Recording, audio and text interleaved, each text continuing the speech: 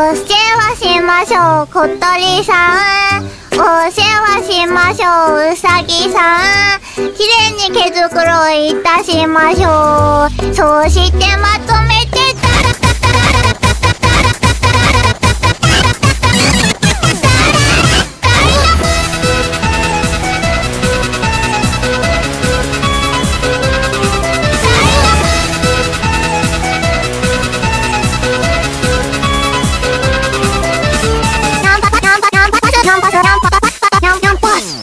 鬼ごっこは部屋でもできる。うちが作った新鬼ごっこルールは簡単。より鬼になりきった方が勝ちなの。まずうちがお手本見せますの。うんではございません。ウサギに人参いっぱい食わせるどころかウサギに一杯壊されてしまいましたはいそん。なことよりおねほしいそれは見ての通り皆さんご存知のトマちゃん。うち田舎に住ん。でるのウサギが逃げ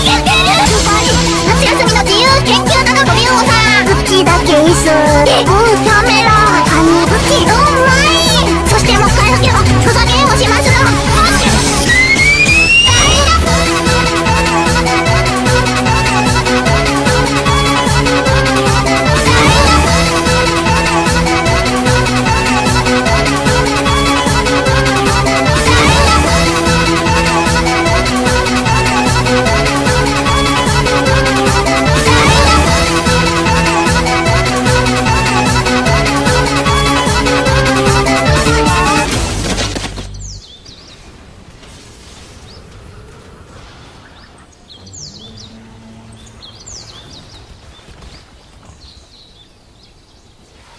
膝。